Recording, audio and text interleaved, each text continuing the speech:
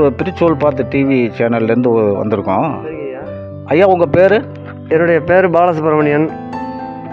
நீங்கள் இந்த கோயிலில் வந்து நீங்கள் இறைவனுக்காக இருக்கீங்களா? இல்லை நீங்கள் பிறந்து வளர்ந்த ஊர் ஐயா அது? ஐயா நான் பிறந்த ஊர் இந்த ஊர் தான். இந்த ஊரிலே பிறந்து நான் சிவனடியாராக இருந்து பழைய ஆலயங்கள்லாம் சென்று வரேங்க ஐயா. அதனால் இந்த கோயிலுடைய தல வரலாறையும் இந்த கோயிலுடைய சிறப்பையும் சொல்வதற்கு சொல்கிறேங்க இந்த கோயில் பேர் என்னய்யா? ஜெகநாயகி ஜெகதீஸ்வரங்கிற பேருங்க சாமி. இது எப்போ கட்டினதுங்கய்யா அந்த கோயில்? இது வந்து ஒரு காலத்தில் ஒவ்வாலடி மண்டபமாக தான் சின்ன மண்டபமாக தான் இருந்திருக்குது. சரிங்கய்யா. சாமி வந்து இங்கே இருந்தபடியே வந்து காரைக்குடி சென்று நகரத்தாருடைய செட்டியார் வீட்டுக்கு சென்று செட்டியார் வீட்டில் ஏதோ அவங்களுக்கு ஒரு கையில் ஏதோ ஒரு குறைகளாக இருந்திருக்குது.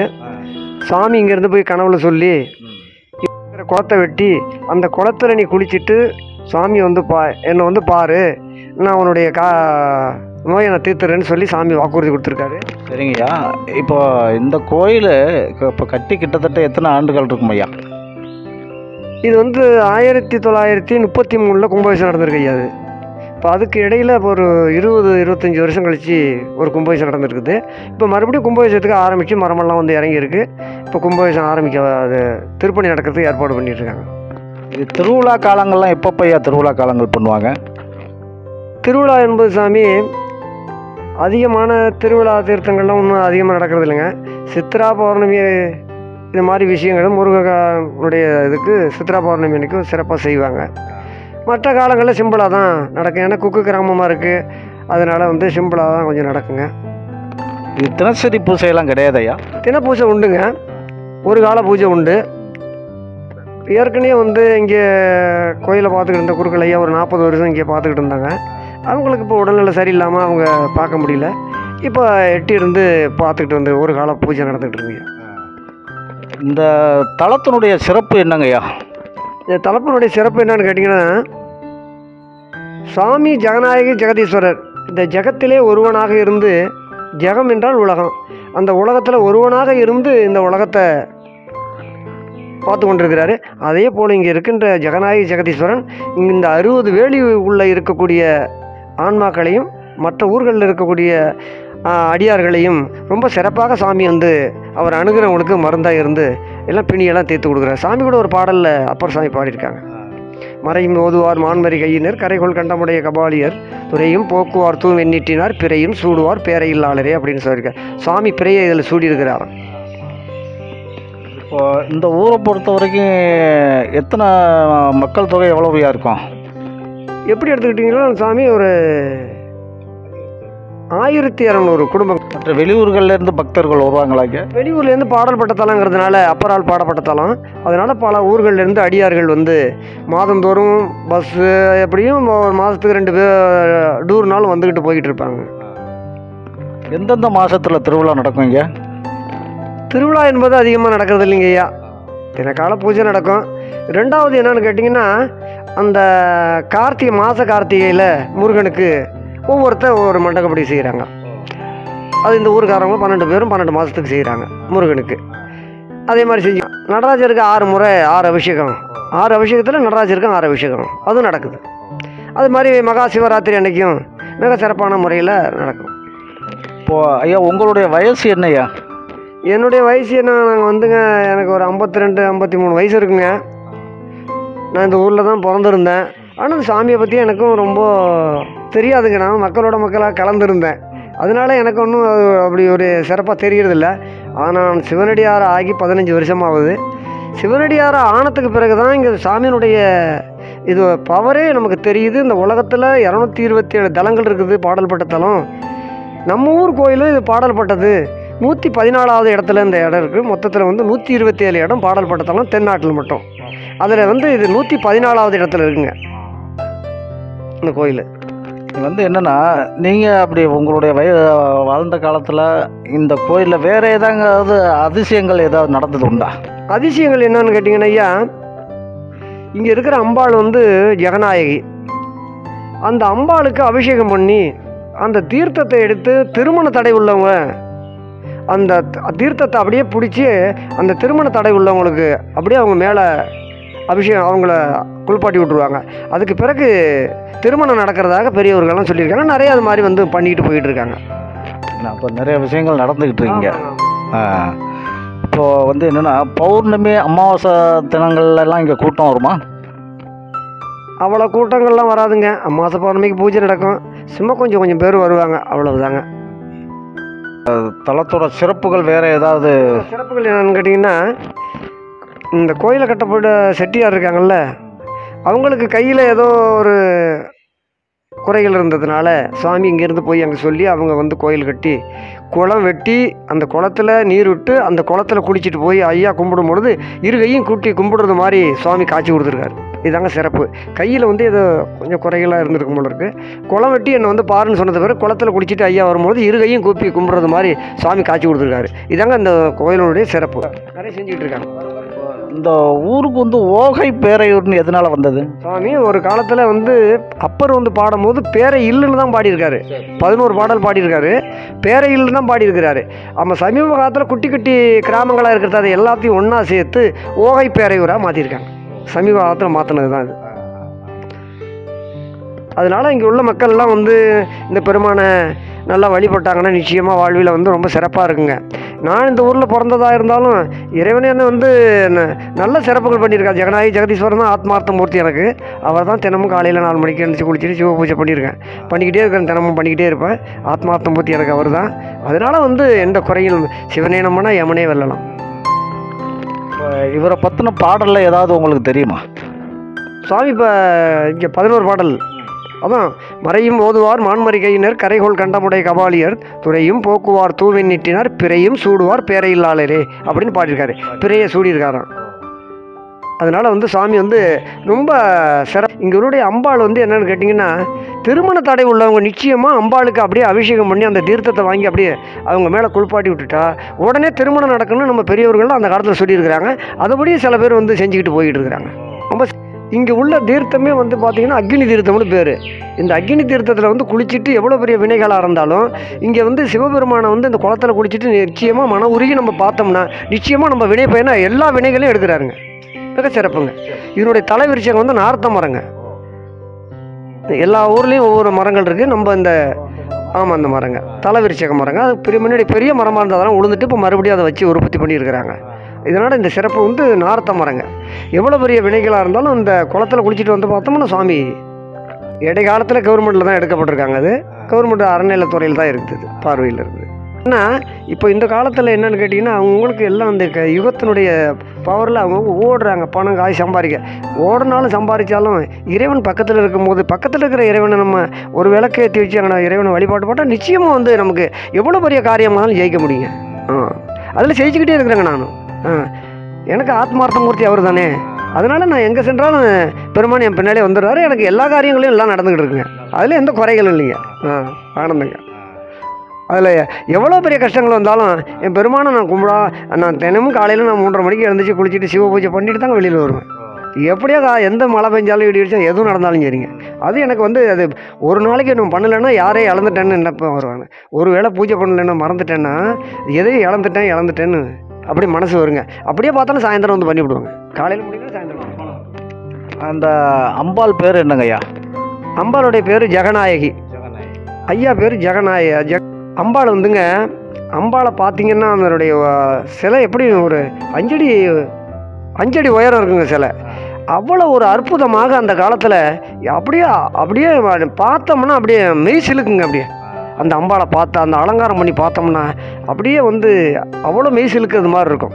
அதுக்கு தான் இந்த அம்பாளுடைய சிறப்பு என்னன்னு கேட்டிங்கன்னா திருமண தடை உள்ளவங்க நிச்சயமாக அந்த அம்பாளை நம்பி நிச்சயமாக வந்து அபிஷேக ஆராதனை பண்ணி அந்த தீர்த்தத்தை வாங்கி அவங்க குளிச்சிட்டாங்கன்னா நிச்சயமாக ஒரு நாற்பது ஐம்பது நாளுக்குள்ளே பார்த்தீங்கன்னா வரம் தன்னை போல வந்துடும் பொண்ணு தாரங்கன்னு சொல்லி வந்துடுவாங்க அப்படியே அப்போ தம்பாளுங்க அந்த நம்பினவங்களுக்கு மட்டும்தான். எல்லாருக்கும் இல்லை. நம்பி நிச்சயமாக நம்பால. நம்பி வந்துட்டோம்மா எனக்கு இந்த காரியத்தை செஞ்சு கொடு. எனக்கு ஏஜி பாராயிடுச்சு. எனக்கு திருமண தடையாக இருக்குதும்மா. நீ பார்த்து செய்யுமான்னு சொல்லி அவங்கள சரணடைஞ்சிட்டா.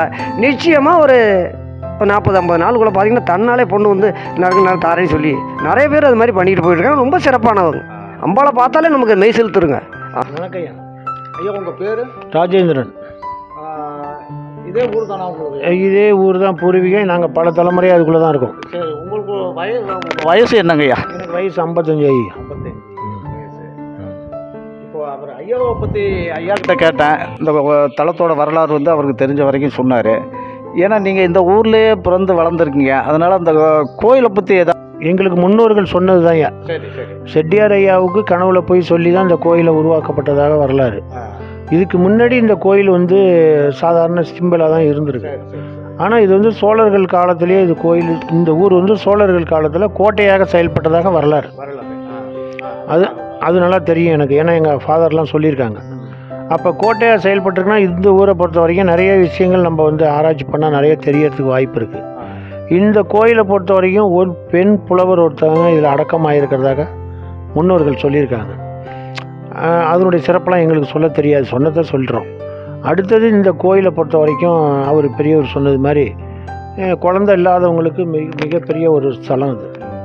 அடுத்தது கல்யாணம் ஆகாதவர்களுக்கு நிறைய பேருக்கு நிறைய பேருக்கு ஆணுச்சுன்னு சொல்கிறத விட என்னை பொறுத்த வரைக்கும் எனக்கு நாற்பது வயசில் தான் கல்யாணம் ஆச்சு. அப்போ எனக்கு இந்த திருமண தடை இருந்து என்ன எங்கள் அம்மா என்ன சொல்லியிருக்காங்கன்னா இந்த அம்பாளுக்கு தெத்தமணி கொடுத்ததாக வரலாறு. அதே நேரத்தில் நான் அம்பாளுக்கு சின்ன வயசுலேருந்து நான் சேவை செய்கிறதுக்கு நான் கடமைப்பட்டேன்னா செஞ்சுக்கிட்டு தான் இருக்கேன். அப்படி இருக்கும்போது எனக்கு இந்த திருமண தடை இருக்கும்போது நான் இந்த கோயிலுக்குள்ளே வந்து அடிக்கடி எல்லோரும் சொல்லுவாங்க. நான் அதில் பெருசாக எடுத்துக்கல. இருந்தாலும் குருக்கள் பழைய குருக்கள் சொன்னார். அதே போல் அம்பாளுக்கு அவசியம் பண்ணி. அதில் இந்த ஜலத்தை எனக்கு மறுபடியும் அந்த அர்ச்சனை பண்ணுறது மாதிரி பண்ணி நான் குளத்துல போய் குளிச்சுட்டு அதுக்கு பிறகு நான் அர்ச்சனை பண்ணிக்கிட்டு வீட்டுக்கு போனேன். அதுலேருந்து எனக்கு ஒரு முப்பது நாளுக்குள்ளே எனக்கு சக்ஸஸ் ஆகி கல்யாணம் முடிஞ்சிருச்சு. அதனால தான் நான் இந்த ரெண்டு பெண் குழந்தையும் எங்கள் குழந்தை தான். இதுக்கு பேர் ஜெகநாயகினே வச்சுருக்கேன். நாங்களும் சிவனடியார் குரூப்பை சேர்ந்த நாங்கள் தான். அது வந்து ஜெயஸ்ரீ இது ஜெகநாயகி. இது வந்து நான் அனுபவித்த ஒரு உண்மை.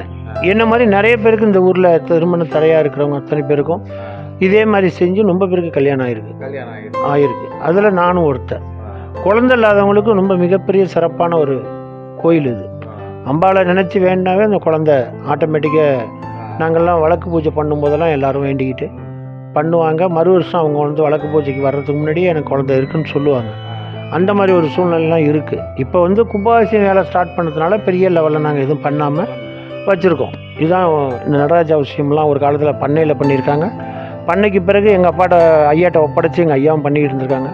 இப்போ காலப்போக்கில் இன்றைக்கி எனக்கு அதெல்லாம் அவங்கெல்லாம் பண்ணின ஒரு நன்மை என்னுடைய பரம்பரைக்குள்ள இன்றைக்கி நான் அதுக்குள்ளே நானும் வந்துட்டேன். திரும்பி இந்த கோயிலுக்காக இன்றைக்கி தொண்டு நிறுவனத்தில் நூற்றி எண்பது பாடல் பெற்ற ஸ்தலத்துக்கு என்ன சப்ளை பண்ணுறாங்க இந்த மாவட்டத்தில். அதனுடைய நபர்களை ஒரு சிலர் தான் எனக்கு தெரியும். இன்னும் முகம் தெரியாத நபர்லாம் இருக்காங்க. எல்லாரும் ஆளு கொஞ்சமாக பண்ணி தான் அதை பண்ணுறாங்க ஒரு மாதத்துக்கு நாலரை லட்சம் ரூபாய்க்கு ஃபைனான்ஸ் பண்ணுறாங்க இந்த எண்ணெய்க்காக. அந்த எண்ணெயை வந்து இந்த கோயிலுக்கு ஒரு நேரத்தில் ஒரு லிட்டர் எண்ணெய் கிடைக்காது. அவருக்கு தெரியும். குறுக்கள் கேப் கேட்க முடியாது. கேட்குறவங்கள்ட்ட தான் கேட்பார். ஆனால் இன்றைய தேதியில் இருபத்தி ரெண்டு லிட்டர் ஒரு கேனு மாதம் மாதம் என் கண்ட்ரோலுக்கு வந்துடுது இந்த கோயிலை நான் சிறப்பாக வழி நடத்துகிறேன்னு சொல்லிட்டு ஒரு சிப்பம் அரிசி ஃப்ரீயாக கொடுத்து அந்த அரிசி அன்றாடம் கொடுக்க சொல்லி சொல்லியிருக்காங்க. நான் ஒரு சிப்பான அப்படியே குறுக்கள்கிட்ட கொடுத்துருவேன். எதுக்குன்னா சிவனுக்காக நெத்திய பூஜைக்கு. ஆனால் இது மாதிரி செய்யறதுக்கு நிறைய பேர் இன்னைக்கு முன்னுக்கு வர வந்துட்டாங்க. சிவன் கோயில் எந்த ஊர் கோயிலாக இருந்தாலும் இன்றைக்கி நான் பதினேழு கோயிலுக்கு இந்த கோயிலை வச்சு பதினேழு கோயிலுக்கு என்ன சப்ளை பண்ணுறேன் இது எல்லாம் அவங்களுடைய ஆசீர்வாதத்தோடு தான் பண்ணுறேன் ஏன்னா இப்போ இந்த கோயிலில் எங்களுக்கு எண்ணெய்க்கு செலவு கொஞ்சம் மிச்சம். வேலை நடந்துக்கிட்டு இருக்கிறதுனால. இந்த எண்ணெயை வேஸ்ட்டாக அடிக்கும். இல்லை பூஜை இது பண்ணுறதுக்கு கும்பாபிஷேகத்துக்கு பின்பக்கம் வேலை நடந்துக்கிட்டு இருக்கு. வேலை நடந்துக்கிட்டு இருக்கு. அடுத்த கட்டம் இது கும்பாபிஷேகம் ஆனால் தான் ரெகுலர் பூஜை பண்ணலாம். இப்போதைக்கு சாமி அம்பாளுக்கு நாங்கள் நித்திய பூஜையை பண்ணி கோயில் சும்மா போடக்கூடாது இல்லை அதனால் ரெகுலராக பூஜை நடக்குது இல்லைன்னு சொல்ல முடியாது. ரெண்டு காலம் நடந்துச்சு இன்றைக்கி ஒரு காலம் பண்ணிகிட்டு இருக்கோம். இது சம்மந்தமாக எங்கள் டென்ஷன் அப்போவே கொடுத்துட்டாங்க. ஒரு வருஷமாக எங்கள்கிட்ட கரண்ட்டில் இருக்குது நாங்கள் இப்போ வேலையை ஸ்டார்ட் பண்ணிட்டோம். தீபாவளிக்கு முன்னாடியே ஸ்டார்ட் பண்ணிட்டோம். இந்த இந்த ஒரு வருஷத்துக்குள்ளே நாங்கள் மூணு பிரிவாக கொடுத்துருக்கோம். அதனால் நம்ம ஸ்டார்ட்டாக வேலை முடிக்கிறோம். அழகாக ரெண்டாயிரத்தி இருபத்தி மூணில் கும்பாபிஷேகம் பண்ணுறது மாதிரி நாங்கள் ஒரு சூழ்நிலையில் இருக்கோம். கண்டிப்பாக பண்ணிடலாம். முன்னாடியே பண்ணிடலாங்கிற அது வேலையை பொறுத்து தாங்க இருக்குது ஆனால் மூணு பிரிவாக இருக்குது ஆனால் சீக்கிரம் முடிச்சிடுவோம் ஆறு மாதத்துக்குள்ளே எங்கள் வேலையெல்லாம் முடிஞ்சிடும் சொன்னது சோழர்கள் காலத்திலேருந்தே கோயில் இருக்கிறதா சொல்கிறாங்க அதாவது சோழர்கள் காலத்தில் கோட்டையாக செயல்பட்டதாக சொல்கிறாங்க அப்போ வந்து இது பல ஆயிரம் வருஷத்துக்கு முன்னாடி கோயில் இருக்குன்னு தான் ஆதாரம். ஆதாரம். ஆதாரம். ஆனால் அதுக்குள்ள மெயின் ஆதாரம் என்னன்னு கேட்டிங்கன்னா கீழே வந்து அந்த காம்பவுண்டுக்குள்ளே தான் இந்த கருங்கலை எழுப்பி எழுப்பி இருக்கிறது நல்லா எங்கள் கவனத்துக்கு தெரியுது. இப்போ எனக்குன்னு ஒரு அனுபவம் இருக்குல்ல.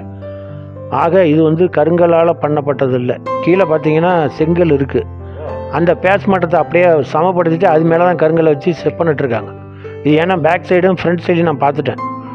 ஆக ஆல்ரெடி கோயில் இருந்திருக்கிறது எங்கள் ஐயாவே எனக்கு சொல்லியிருக்காங்க. எங்களுடைய டிவி சேனல் மூலமாக உங்களுக்கு ஒரு பெரிய வணக்கத்தை சொல்லிக்கிறேன். இந்த சேனலுக்கு வந்து இப்போ இந்த இதை பற்றி நீங்கள் என்ன சொல்கிறீங்க மிகப்பெரிய தாழ்மையோடு நாங்கள் இந்த ஓகை பேரையூரில் வந்து இப்போ அந்த கோயிலில் வந்து உங்களை சந்தித்து இந்த தலத்தோட வரலாறை வந்து உங்கள் மூலமாகவும் அவர் ஐயா மூலமாகவும் கேட்டது எங்களுக்கு ரொம்ப சந்தோஷமாக இருக்குது ஆனால் வந்து என்னென்னா மக்கள் பக்தர்கள் வந்து அதிகமாக கூட்டம் வந்து இந்த கும்பாபிஷேகத்துக்கு பிறகு தான் வரும் வருவாங்கன்னு நினைக்கிறேன். ரொம்ப சிறப்பாக இருக்குது நீங்கள் இப்போ கும்பாபிஷேகத்துக்கான ஏற்பாடுகள் என்னென்னங்க ஐயா நடந்துக்கிட்டு இருக்கு? கும்பாபிஷேகத்தோடைய ஏற்பாடு சாமி மரமெல்லாம் வந்து இறங்கிடுத்துருக்கு. எல்லா வேலைகளுக்கும் துரித தீபாவளிக்கு முன்னாடி ஆரம்பிச்சிட்டாங்க.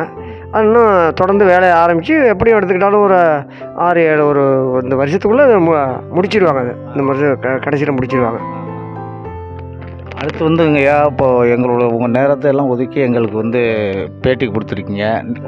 ரொம்ப நன்றி சொல்லிக்கிறேன்.